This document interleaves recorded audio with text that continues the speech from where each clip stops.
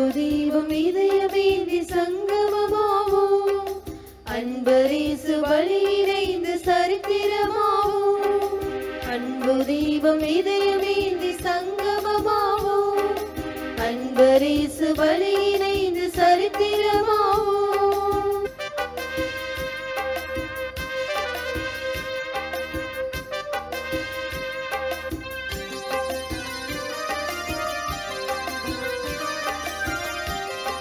இந்த பலி இறையின் பலி இணையில்லாத பலிதான். இந்த பலி இறையின் பலி இணையில்லாத பலிதான். நன்மை நெறியிலே நம்மை பகிரவும். நாளும் நமக்குள்ளே நம்பிக்கை வளர்ப்பதும். இந்த பலி இறையின் பலி இணையில்லாத பலிதான். இந்த பலி இறையின் பலி இணையில்லாத பலிதான். இறைவனே தம்மையே மனிதர் கழிக்கும் இணையற்ற பலியின் புனித நிகழ்விலே. அன்பு தீபம் இதயமேந்தி சங்கமமாவோ? அன்பரீசு பலியிலேந்து சரித்திரமாவோ? அன்பு தீபம் இதயமேந்தி சங்கமமாவோ? அன்பரீசு பலியிலேந்து சரித்திரமாவோ? அருணதி பாயும் இந்த திருப்பலிதனிலே அருபெரும் பலியாய் நமது தியாக பணிகளை அர்ச்சனை பூவை அர்ப்பணமாக்கி அர்த்தங்கள் காணுவோம். அன்பு தீபம் இதயமேந்தி சங்கமமாவோ அன்பரீசு பலியிலேந்து சரித்திரமாவோ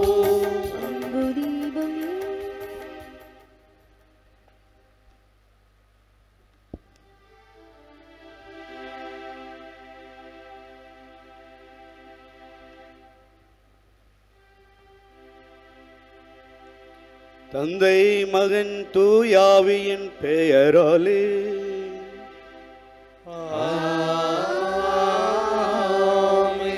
நம் ஆண்டவராகிய இயேசு கிறிஸ்துவின் அருளும் கடவுளின் அன்பும் தூயாவின் நட்புறவும் உங்கள் அனைவரோடும் இருப்பதாக. உம் ஆன்மாவோடும்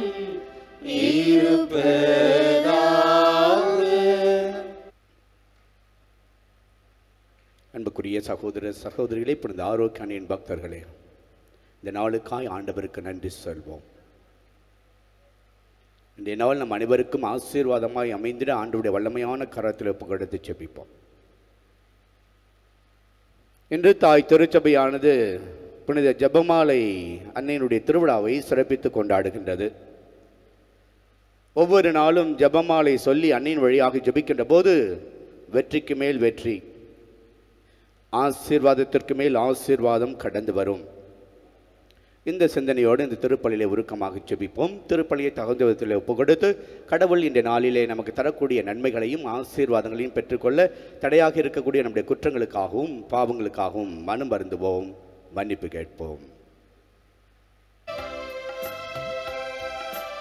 ஆண்டவரே இரக்கமாய்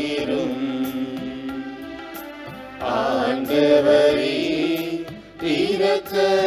இரக்கமாயிரும் கிறிஸ்துவே இரக்கமாயிரும் கிறிஸ்துவே இரக்கமாயிரும் ஆண்டவரே இரக்கமாயிரும் ஆண்டவரே இரக்கமாயிரும்.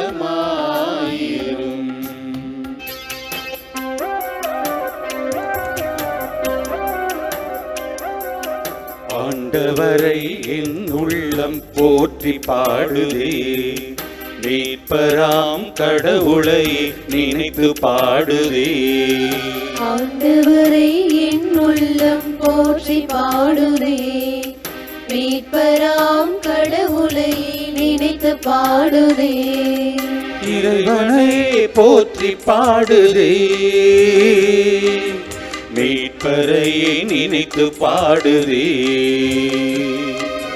இறைவனை போற்றி பாடுதே. மீட்பரை நினைத்து பாடுதே. ஆண்டவரை என் உள்ளம் போற்றி பாடுதே. மீட்பராம் கடவுளை நினைத்து பாடுதே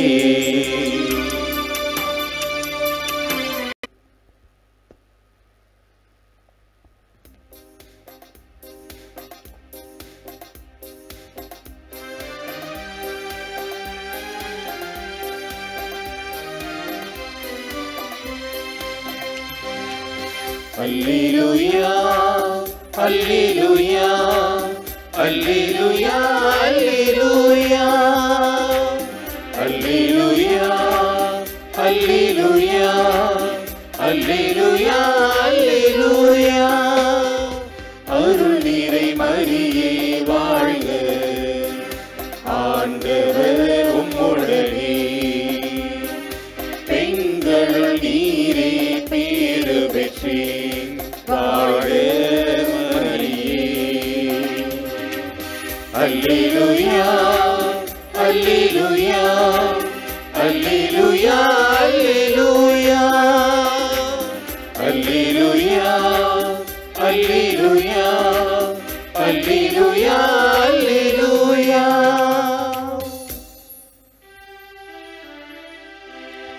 ஆண்டவர் உங்களோடு இருப்பாராக.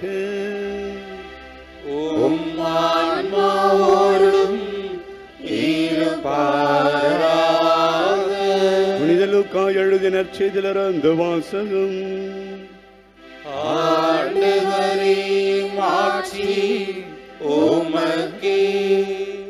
அதிகாரம் ஒன்று இறைவசனங்கள் இருபத்தி ஆறு முதல் முப்பத்தி எட்டு முடிய ஆறாம் மாதத்தில் கப்ரில் என்னும் வானதூதரை கடவுள் கலிலியாவில் உள்ள நாசரத் என்னும் ஊரில் இருந்த ஒரு கன்னியிடம் அனுப்பினார். அவர் தாவீது குடும்பத்தினராகி யோசிப் என்னும் பெயருடைய ஒருவருக்கு மன ஒப்பந்தமானவர். அவர் பெயர் மரியா. வானதூதர் மரியாவுக்கு தோன்றி அருள் நிறைந்த மரியே வாழ்க. ஆண்டவர் உம்மோடு இருக்கிறார் என்றார். வார்த்தைகளை கேட்டு அவர் கலங்கி இந்த வாழ்த்து எத்தகையதோ என்று எண்ணிக்கொண்டிருந்தார். வானதூதர் அவரை பார்த்து மரியா அஞ்ச வேண்டாம். கடவுளின் அருளை கண்டடைந்துள்ளீர். இதோ கருவுற்று ஒரு மகனை பெறுவீர் அவருக்கு இயேசு என்னும் பெயரிடுவீர். அவர் பெரியவராய் இருப்பார் உன்னத கடவுளின் மகன் எனப்படுவார். அவருடைய தந்தை தாவிதின் அரியணையை ஆண்டவராகிய கடவுள் அவருக்கு அளிப்பார். அவர் யாக்கோப்பின் குடும்பத்தின் மீது என்றென்றும் ஆட்சி செலுத்துவார். அவருடைய ஆட்சிக்கு முடிவே இராது என்றார். அதற்கு மரியா வானதூதரிடம் இது எப்படி நிகழும்? நான் கன்னியாயிற்றே என்றார். வானதூதர் அவரிடம் தூய் ஆவி மீது வரும். உன்னத கடவுளின் வல்லமை உம்மேல் நிழலிடும். அதனால் உம்மிடம் பிறக்க போகும் குழந்தை தூயது. அக்குழந்தை இறைமகன் எனப்படும் உறவினராகிய எலிசபெத்தும் தம் முதிர்ந்த வயதிலே ஒரு மகனை கருத்தரித்திருக்கிறார். கருவுரை இயலாதவர் என்று சொல்லப்பட்ட அவருக்கு இது ஆறாம் மாதம். ஏனெனில் கடவுளால் இயலாதது ஒன்றுமே இல்லை என்றார்.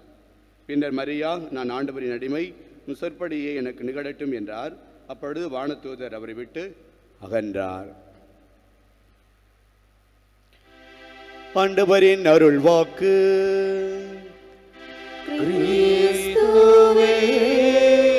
உமக்கு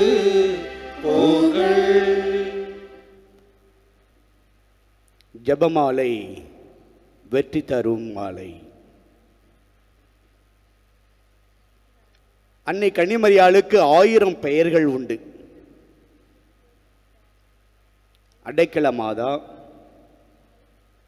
ஆரோக்கிய மாதா பாத்திமா மாதா லூர்து மாதா வியாகுல மாதா இப்படி ஆயிரம் பெயர்கள் உண்டு. அவற்றுள் அநேக பெயர்கள் அவருடைய பிள்ளைகள் அவருக்கு கொடுத்த சிறப்பு பெயர்கள். ஆனால் ஜெபமாலை அன்னை ஜெபமாலை மாதா என்பது அவருடைய பிள்ளைகள் ஜெபமாலை ஜெபித்து பெற்றுக்கொண்ட வெற்றிக்காக கொடுக்கப்பட்ட சிறப்பு பெயர். ஜெபமாலை சொல்லி நாம் ஜெபிக்கின்ற போது அண்ணன் வழியாக ஜெபிக்கின்ற போது வெற்றி நிச்சயம். இது நமக்கு வரலாறு சொல்லித்தரும் பாடம் நம்முடைய அனுபவம் சொல்லித்தரும் பாடம். நம்ம யோசித்து பார்க்கணும். சிந்தித்து பார்க்க வேண்டிய ஒரு செய்தி என்ன?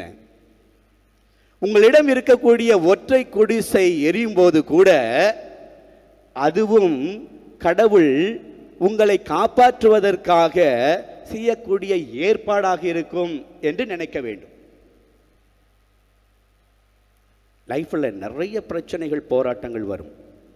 அதில் ஏதாவது ஒரு காரியம் கடவுள் நமக்கு ஒரு டேர்னிங் பாயிண்டாக வைத்திருப்பார் ஒரு திருப்புமனையாக வைத்திருப்பார். அப்படி ஒரு திருப்புமனையை வைத்திருக்கின்ற போது கஷ்டங்கள் வரும் போராட்டங்கள் வரும். நம்ம என்ன பண்ணுவோம்? கண்ணீர் வடிப்போம் கவலைப்படுவோம் கன்னத்தில் கையை வச்சுக்கிட்டு உட்கார்ந்துருப்போம். அந்த சமயத்தில் தான் நமக்கு ஒரு தாய் இருக்கிறார். அவர் நம்மை தேற்றக்கூடியவராக இருக்கிறார். அவரை நம்ம அவர் நம்மை பலப்படுத்தக்கூடியவராக இருக்கிறார். நமக்கு பாதுகாப்பை தரக்கூடியவராக இருக்கிறார். நமக்காக கடவுளிடம் பரிந்து பேசக்கூடியவராக இருக்கிறார். அவர்தான் நம்முடைய அன்னை கன்னிமரியாள். அன்புக்குரிய சகோதர சகோதரிகளே இன்றைய முதல் வாசகம் சொல்லுகிறது ஆண்டவர் இயேசு விண்ணகம் சென்ற பிறகு இயேசுனுடைய சீடர்கள் சில பெண்கள் அன்னை கன்னிமரியால் எல்லாரும் ஒன்றாக கூடி மேல் மாடியிலே ஒரே மனத்தோராய் ஜெபித்தார்கள் என்று சொல்லுகிறது. அருமையான செய்தி. சிதறிப்போன சீடர்களையெல்லாம் ஒன்றிணைத்து ஜெபத்திலே நிலைநிறுத்தினாள் அன்னை கன்னிமரியாள் உறுதிப்படுத்தினாள் விசுவாசத்திலே நிலைத்திருக்கும்படியாய் செய்தார். பலப்படுத்தினார் என்று பார்க்கிறோம். ஆயிரத்தி எண்ணூற்றி அறுபத்தி மூன்றாம் ஆண்டு ஒரு சம்பவம் நடந்துச்சு. அப்போ ஒரு பெரிய போர் நடந்துச்சு. கிறிஸ்தவர்களுக்கும் துருக்கியர்களுக்கும் ஒரு போர் நடந்துச்சு. இங்கேயும் பார்த்தீங்கன்னா துருக்கியர்களுடைய போர் வந்து மிகவும் பலமுள்ளதாக இருந்தது. ரொம்ப சக்தி உள்ளதாக இருந்தது. அதனால் கிறிஸ்தவர்கள் போராடினார்கள் ஆனால் கடைசியில் தோல்வியை சந்திக்கக்கூடிய நிலை வந்துச்சு. உடனே இந்த கிறிஸ்துவ மக்களும் அந்த போர் வீரர்களும் ஒன்றாக கூடி ஜவமாலை சொல்லி அன்னையின் வழியாக ஜெபித்தார்கள். என்ன நடந்தது அப்படின்னு சொன்னா மறுநாள் போருக்கு போனார்கள் மாபெரும் வெற்றி கிடைத்தது. அதனால அன்னைக்கு புகழ் சேர்க்கும் வண்ணமாக அன்றைய நாளில் இருந்த திருத்தந்தை பதிமூன்றாம் கிரகோரி என்பவர் ஒவ்வொரு வருஷமும் அக்டோபர் மாதம் ஏழாம் தேதி ஜெபமாலை அன்னைக்கு திருவிழா சிறப்பிக்க வேண்டும் திருவிழா எடுத்து கொண்டாட வேண்டும் என்று அறிவித்தார். எப்போதெல்லாம் ஜெபமாலை எடுத்து ஜெபிக்கிறோமோ அப்போதெல்லாம் வெற்றி ஆசீர்வாதம். நம் ஒவ்வொரு நாளும் ஜெபமாலை எடுத்து ஜபிக்கும் போதெல்லாம் இந்த அண்ணனுடைய உடனிருப்பு நமக்கு தெரியும். ஒவ்வொரு நாளும் ஜவமாலை எடுத்து ஜெபிக்கும் போதெல்லாம் இந்த அண்ணனுடைய பாதுகாப்பு நமக்கு வெளிப்படும். அவருடைய ஆசீர்வாதம் நமக்கு வெளிப்படும். அன்புக்குரிய சகோதர சகோதரிகளே நாம் ஜெபிக்கக்கூடிய ஜெபம் ஜவமாலி சொல்லி ஜெபிக்கக்கூடிய ஜெபம் அது மிகவும் மென்மையாக இருக்கலாம். ஆனால் மிகவும் வல்லமையானது சக்தி உள்ளது. அதே போன்றுதான். ஒவ்வொரு நாளும் நாம் ஜெபமாலை சொல்லி ஜபிக்கும் போது நாம் செய்யக்கூடிய ஜெபம் எவ்வளவு மென்மையான ஜெபமாக இருந்தாலும் தொடர்ந்து நாம் ஜபித்து கொண்டே இருக்கின்ற போது மலை போல பிரச்சனைகள் வந்தாலும் சரி.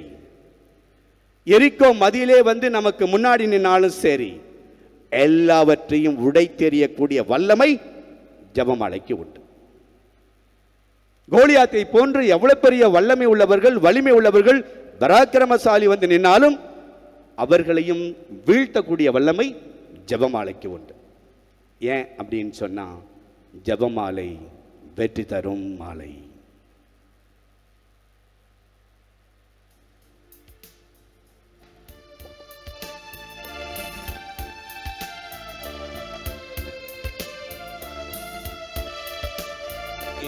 எல்லாம் இறைவனின் கொடிகளே. இதய நன்றிகள் எந்துங்களே நானும் நன்றி பலிகள் கொடுத்தல் அவருக்கேற்றதே மனம் மேலதாளம் முழங்கி அவரை ஏத்தி போற்றுதே.